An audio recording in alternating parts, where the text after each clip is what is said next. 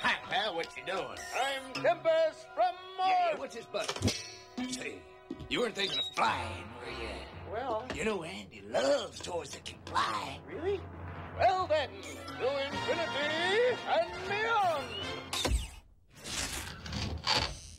You know, uh, Andy loves toys that he can find.